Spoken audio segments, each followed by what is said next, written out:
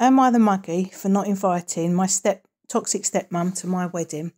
Hello everyone, this is your daily dose of mugginess. I've been a counsellor for over 20 years and I specialise in personality disorders.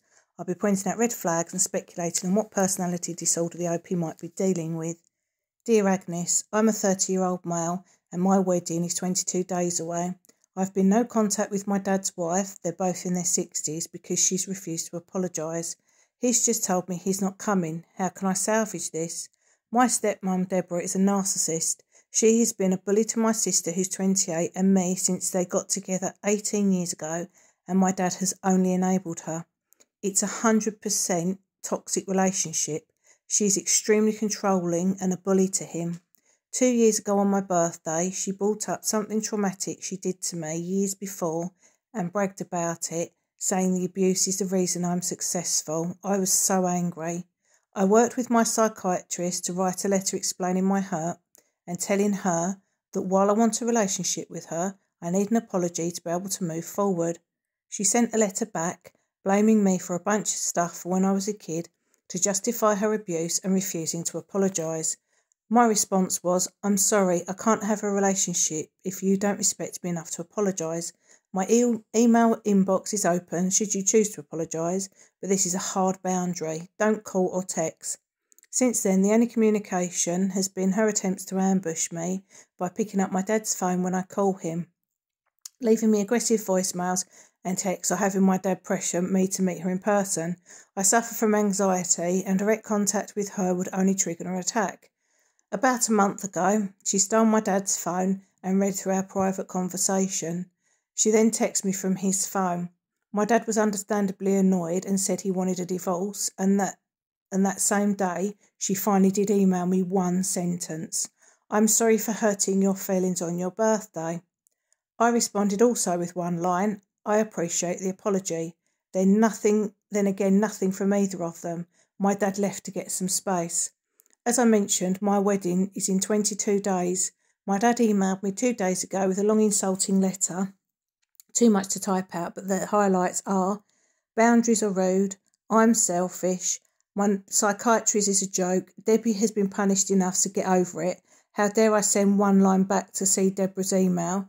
Deborah is the real victim. How dare I not invite his wife to my wedding? And obviously, I'm not coming to your wedding. To be clear, I've heard most of these brought up over the past two years, and I have addressed them with him, but he just dismisses me as being angry and vindictive. As usual, he wants me to just make peace, even though it will be at the expense of my mental health. He will never hold her accountable. I'm in a healthy headspace thanks to my psychiatrist and incredible fiance, and I know that my boundary is healthy, and no amount of guilt tripping will make me feel bad about setting it. But how can I respond despite my intense anger over the letter? I still want him, but not her, at my wedding. I love my dad, and I'm so sad that one simple boundary is apparently enough to end our relationship. My reply It sounds like your psychiatrist has explained what a narcissist is, but I wonder why they haven't explained to you the personality disorder that your dad has. Learning about people's personality disorders helps you heal. It must have driven you mad not knowing why your dad behaves like this and why he always puts such a toxic person before his children and lets her, let her mistreat his children this makes him as toxic as her.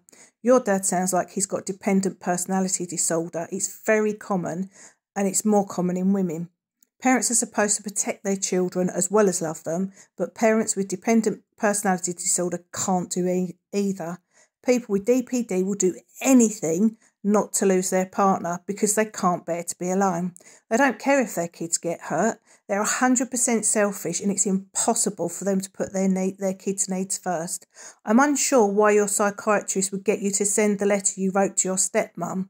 This is known as Gestalt therapy and was invented by Fritz Perls.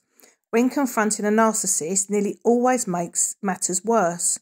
She was never going to apologise. The only reason you got the one line apology was because she feared losing her grip on your dad when he demanded a divorce. Narcissists and psychopaths only apologise to manipulate.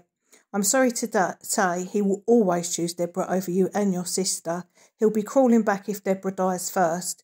You've tried so hard to mend your relationship, but you can't change him into the dad he should have been. You've got wonderful and supportive people in your life.